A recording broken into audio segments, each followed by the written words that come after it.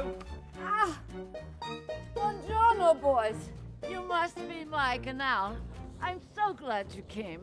Well, thanks for having us, ma'am. Uh, after reading your write-ups on your, your Airbnb, I knew this was a, a great place to stay on our way to Canada. Oh, Uh, he means our honeymoon. oh, It's not our honeymoon. He, he says that to everyone we stay with.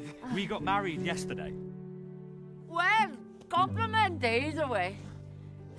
It's a lovely uh, backyard you have here. Oh, you should see it in the summer. Tomatoes the size of melons.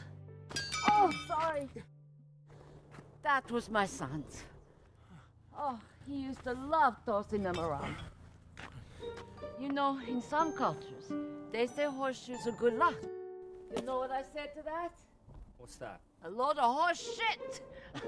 hey, that's not inside. I'll show you around. Good.